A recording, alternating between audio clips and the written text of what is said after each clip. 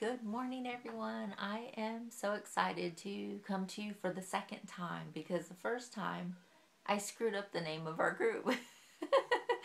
but, anyways, um, so me, well, I'm excited and Lisa's excited because we started a Facebook page yesterday, and um, the name of our Facebook page is going to be called Will Craft for supplies. So um, we have been talking back and forth with each other about, um, you know, about the amount of projects that we make and the amount of money we spend. And we kind of wish there was an easier way to kind of still. My daughter's calling me. Yes, Gabby? Come here, baby.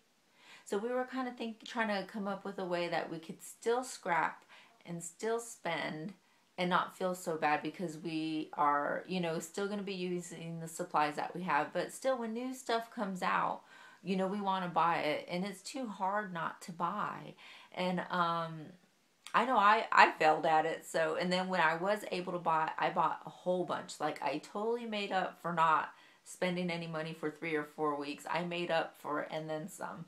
And um, so we've been trying to come up with a way that we can do both. So you know, we were like, well, what if we put a dollar amount to the project that we make? So, for example, if I make a layout, if we make a layout, that would be $5.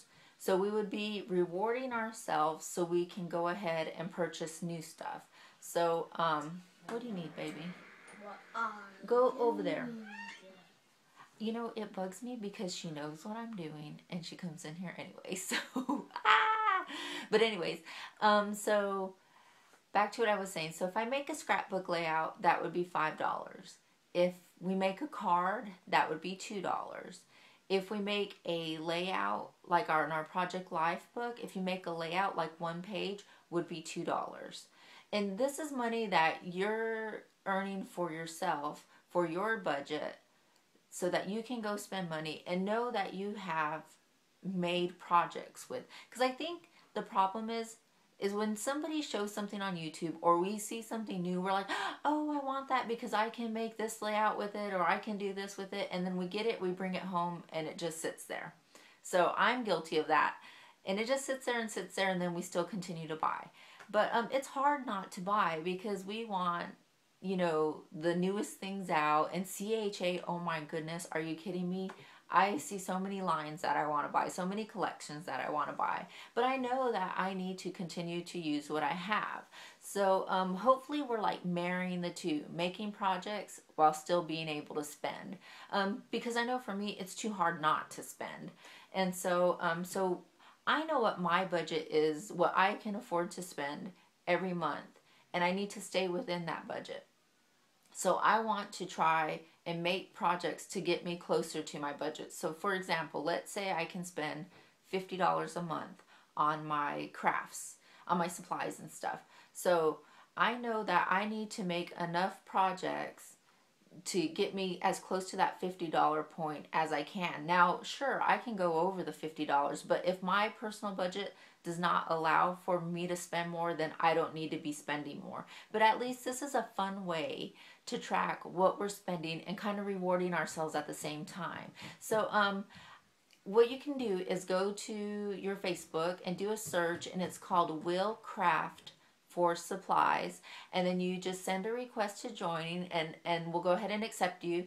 And then in that pay in our facebook group there will be a document there so you can keep track of your total. So for example i think like right now lisa put for an example lisa $30 so come the end of the month or whenever she's ready to shop she knows how much money she's earned to go ahead and shop for. And that way it kind of helps with the guilt i hope is my plan. It helps with the guilt of buying still. But yet i know hey at least i have made 10 layouts this month. You know i don't feel so bad going and spending you know 30 40 dollars when i know i have used you know, new the supplies that I have in my room, there's no way I can go through all my supplies. I know there's not a way for a lot of us, unless we're like new beginner scrappers. But you know, I've been at it for 10 years, so trust me, I have 10 years worth of supply.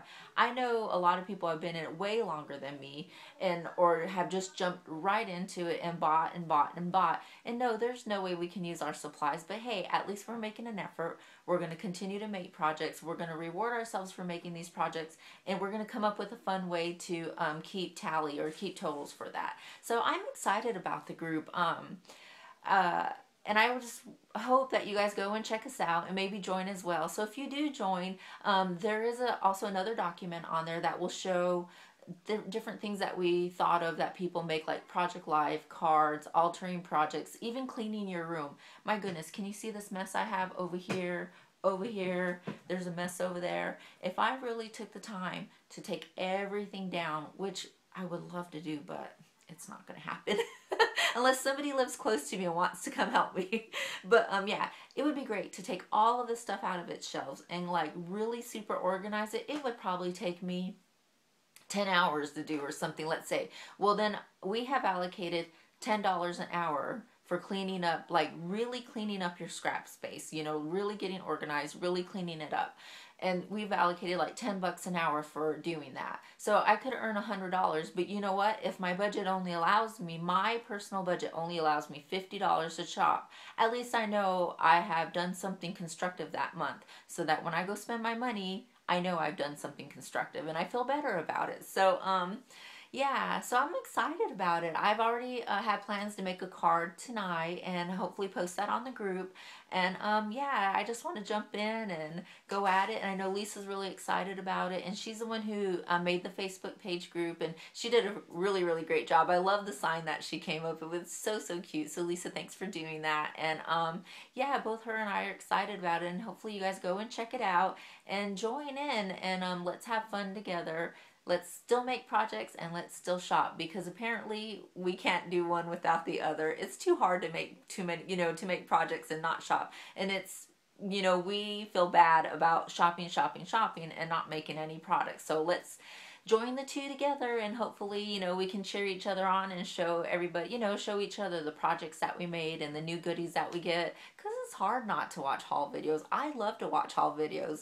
And so it's hard to stay away from those because I don't want to tempt myself to go shop. So I watch them and you know what? I go shop anyway. So yeah, so hopefully this will be a happy medium for the two. And anyways, thanks for watching.